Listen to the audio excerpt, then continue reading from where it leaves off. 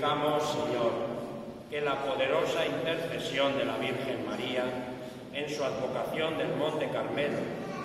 nos ayude y nos haga llegar hasta Cristo, monte de salvación,